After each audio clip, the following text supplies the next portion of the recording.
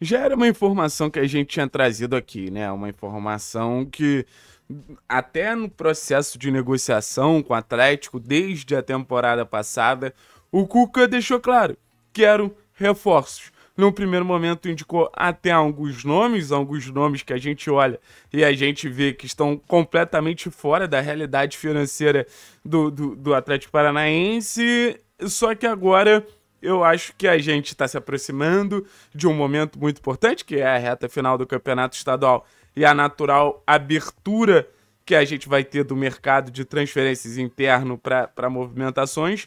E essa questão dos reforços pedidos pelo Cuca, naturalmente, é uma pauta que vai ser muito tratada internamente e externamente e que o técnico ele está fazendo questão de bater na tecla até em coletiva. Depois do jogo contra o Operário, o Cuca deixou claro que o elenco precisa ser fortalecido, que mais peças precisam chegar para aí sim o Atlético ter uma temporada do nível que ele almeja, do nível que ele deseja, que é uma temporada protagonista, que é uma temporada de briga por título, que é uma temporada de um posicionamento na, na parte de cima de, de, de todas as competições. Então existe todo um desejo que por parte do treinador, e eu acho que até o clube entende que é necessário que o Atlético consiga preencher lacunas desse elenco que o Atlético consiga fazer o elenco mais completo possível para a sequência da temporada. E eu acho que você tem algumas questões importantes nesse cenário. Primeiro de todos é que o Cuca tá certo. Porque assim, às vezes a gente fica um pouco preocupado, a gente está sendo muito refém do mercado da bola, né? Porque quando o trabalho de um treinador não funciona e ele fica pedindo reforço, pedindo reforço, pedindo reforço, e a gente sabe que o trabalho dele não deslancha nem quem tá aqui, imagina os jogadores que chegarem, que vão encontrar um, um ambiente conturbado, a gente acha, pô, não é por aí, né? Por isso que eu falava, eu acho que o Osório não é nem que ele não deva ganhar reforço, ele não merece reforços. Ele não faz por onde ter reforços é, a partir de tudo que ele vem fazendo, um trabalho bem abaixo, um trabalho insuficiente mesmo. Só que, o que, que o Cuca traz? O Cuca traz. Se a gente conseguir trazer reforços, se a gente conseguir incorporar o elenco, ele tá basicamente dizendo que o Atlético tem chance de brigar por coisas grandes. E a palavra do Cuca, nesse sentido, ela é muito valiosa. Porque é um treinador que já brigou por coisas grandes. Então, na teoria, o Cuca ele sabe de quanto ele precisa para colocar os times dele ali numa posição de disputa, numa posição de, de, de briga. Por quê? Se ele tá olhando, tá entendendo que faltam reforços, é porque realmente tá insuficiente. E assim, antes do Cuca a gente já sabia que um zagueiro era necessário. Antes do Cuca a gente já sabia que um ponta era necessário. Antes do Cuca já se discutia a questão de um meia. Só que a voz do Cuca falando isso, ela soa em mais alto tom.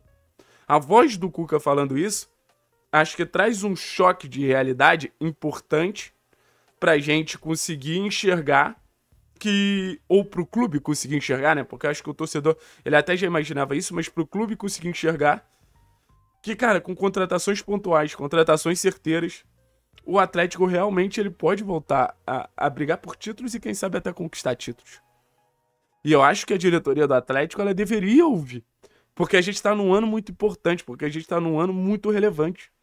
Consagrar o ano do centenário com título, todo mundo vai ficar marcado. E a gente também sabe que o Atlético, ele é um clube que financeiramente, ele vem de temporadas de muito sucesso. A gente sabe que, o, que é um Atlético que historicamente, ele tem ali a possibilidade de até brigar por menos. Com menos, né? Com menos elenco, com menos talento. Mas se a gente tiver um elenco encorpado de verdade, se a gente tiver um elenco forte de verdade, e eu acho que a gente já tem um time muito bom, acho que a gente tem um bom elenco, mas se qualificar o nível desse elenco, a tendência é a gente chegar longe real.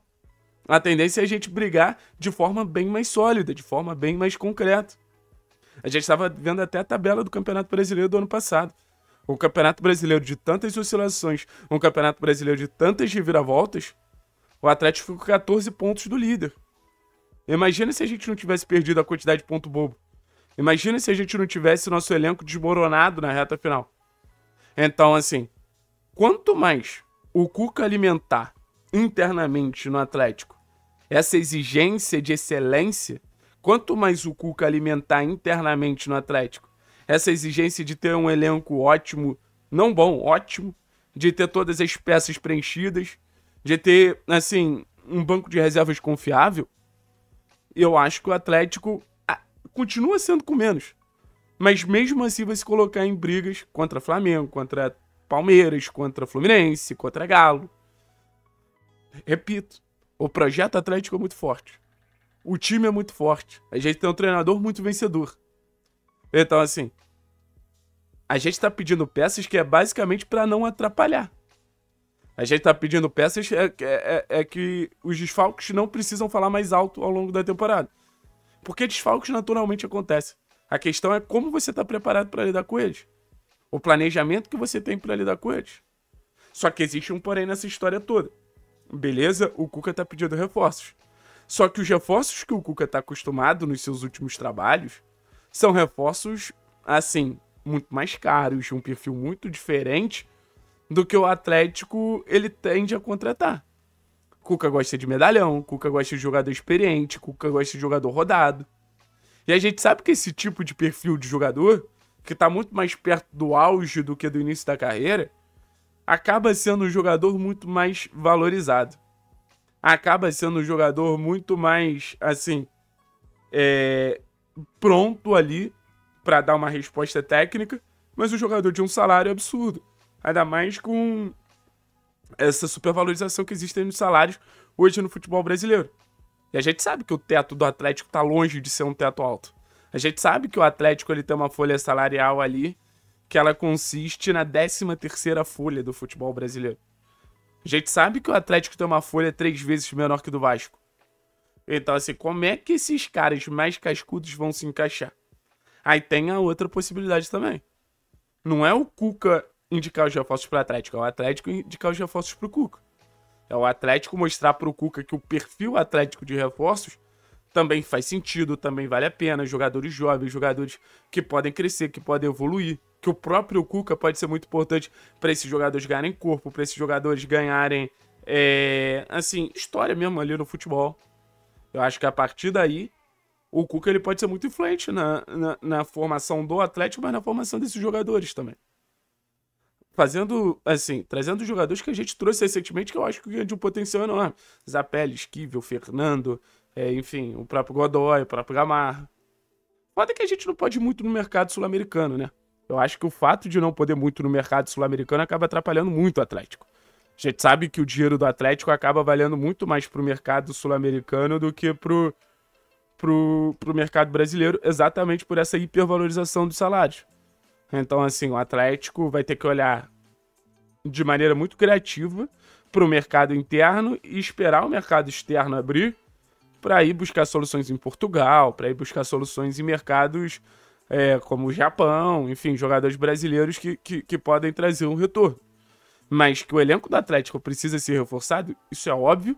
E eu acho que é importante a gente ter essa voz ativa eu acho que talvez a, a voz mais ativa hoje no Atlético seja a voz do Cuca, até por todo o esforço que o Petralha fez para trazer ele, para de fato a gente ter um Atlético brigando por coisas grandes na temporada.